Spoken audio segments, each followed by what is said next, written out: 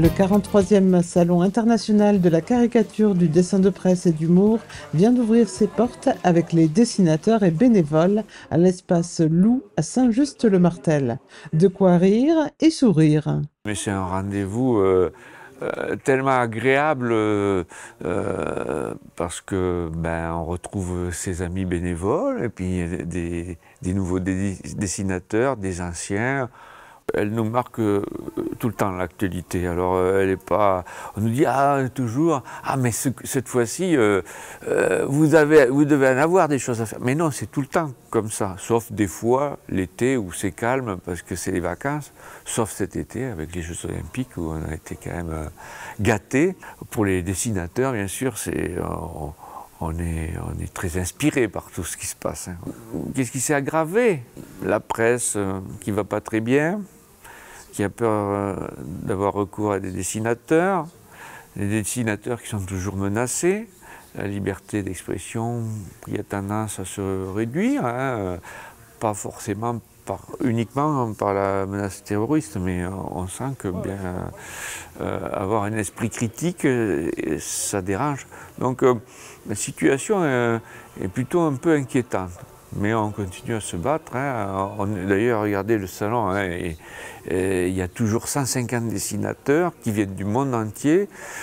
Il ne faut pas être pessimiste. hein. Il faut- faut garder de l'énergie, il faut se battre. Donc on est combatif.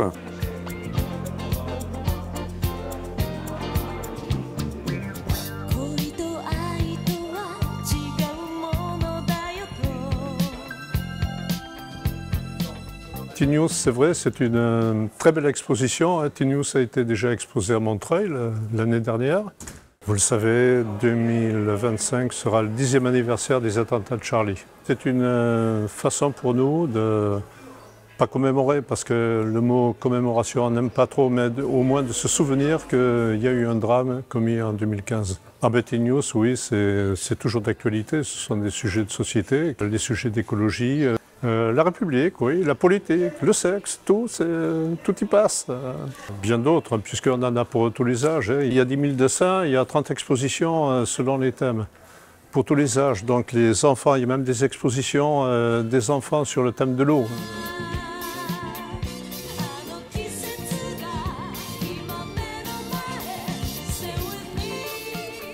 Moi, je suis ému de voir euh, comment les enfants puissent s'exprimer si librement et avec différentes techniques, collage, euh, là, probablement avec du sel ou avec les différentes techniques d'application.